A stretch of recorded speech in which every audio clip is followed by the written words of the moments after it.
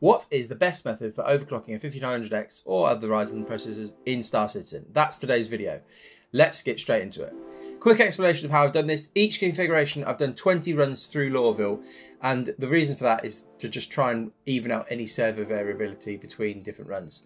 Yes, servers are all over the place, but actually in the cities, we know that single threaded performance is the key. And as you'll see, there is a, a fairly good scaling as we overclock. First up, we've got stock 5900X as it comes out the box, and we've got a Cinebench result, so we can compare those, as well as our actual Lorville runs result. So the average of those, 42.3 FPS. It's, by any standard on any of the other game, that's terrible, but in Lorville, that's pretty good. And that's our baseline, so let's move on to our first overclock.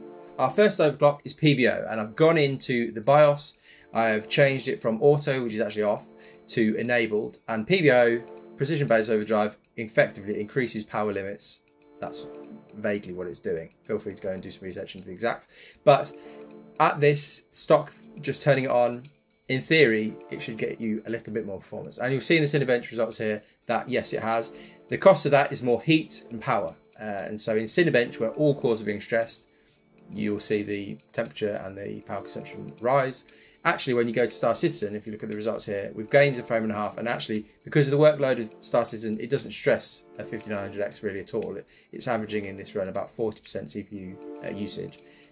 Power hasn't really gone up at all, and temperature hasn't really gone up at all. So that, as a very simple overclock, you literally just change something in the past, it's increased a little bit. There is much more you can get out of it. Well, more, let's say. Not much more, but percentage wise, much more you can get out of it. Let's move on to the next one. Next up, we have the Ryzen Clock Tuner utility by 1usmus. And this is a program, and this guy basically has decided that he can do a better job of tuning AMD CPUs than they can. And actually, in some cases, he can. It's amazing, really. Uh, but this supports 3000 and 5000 series GPU, uh, CPUs, and it's amazing. And the way it works, it will run a scan basically of your CPU, uh, do a diagnostic, and check how it responds in Cinebench to different voltages and effectively it will reduce massively your power consumption uh, and actually then that therefore in some cases can allow you to increase clock speeds. So it's amazing really clever piece of software. It doesn't necessarily get as detailed as the next thing that we're going to test but it is impressive what it can do for effectively you click a button and really it does it all for you. So here are the results you get a pretty good increase in Cinebench results, and then in Lorville, you're up to 44.4 FPS. So it's better than just PBO enabled, and we'll explain in a minute how this how the program does this as we compare it to the next thing, but we'll come back to that in a minute. But yeah, for again, for a solution where you download some software, you let it run, and then you apply the profiles that it generates, it's pretty pretty amazing, really. And obviously, we're not talking massive inc- increase in FPS, but actually, if you were to scale this to a higher FPS area of the game, percentage wise, you should see better, uh, bigger frames. So ultimately, we're fighting for every single last frame in Star Citizen. So anything that can improve is good. And the thing that's really amazing about this is that it's done all of this in Star Citizen here in Lorville. 20 watts less power, and it's reduced the CPU temperature from about 68 down to 58. So it's quite an amazing piece of software, really. Let's move on to the final and probably trickiest to configure, but best, in my opinion, way to do this. The final thing I've tested is the Ryzen Curve Optimizer settings within PBO. So if you go to advanced mode, you've got a load of settings here, and you can fiddle around with the voltage per clock, uh, per core, sorry, of each core of your CPU. So you go in and you can set, probably best to set a negative value, and you reduce the voltage sent to it, which effectively improves thermals, power, all that sort of stuff, and allows the cores to boost higher. Now, this took a while. I fiddled around with this. I had a bunch of settings that were lower than this and they were a bit more conservative and it was completely stable and the, the results were good. And then I went back in and I redid it, pushed it really hard. Now, I don't know if these settings would be 100% stable for everyday use, but they were fine in Star Citizen. Uh, you obviously would have to work this out yourself, doing it yourself. There's loads of guys on the internet, and I, I think it's worth looking into. If you're kind of into overclocking, this is quite fun to have a fiddle around with. Uh, and so I've gone in and I pushed it really hard. I've the general gist was that you can hit the boost, you can increase the boost massively, but then you can't lower the voltages as much. The advice actually for multi-threading was to not have too high a boost. So I've just gone for 50 hertz here. uh, and then to really reduce the voltage as much as you can. And you'll notice some are higher than others. The best cores on the CPU, you want to give, you don't want to reduce the voltage too much because they're the ones getting the most use and they're already pretty well tuned. Uh, and so they're the settings. If we go over to Cinebench, you'll see a decent increase.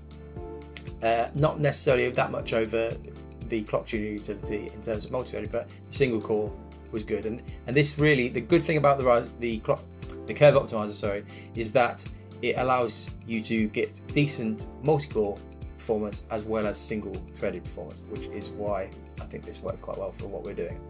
And then if we switch over to Star Citizen, Lorville, we've got ourselves another frame and a half over the clock tune. So yeah, again, it's not a massive increase over stock, but again, you want everything you can get with Star Citizen. So that is good, and we'll we'll we'll take that. We'll definitely take that. What I want to do now is actually try and explain in a bit more detail how that's happening, and for that, I've got some more detailed sensor statistics from uh, CapFrameX, which is the program I use to take all the data, and we're going to look at what's actually going on here on the cores and the clock speeds and all that sort of stuff.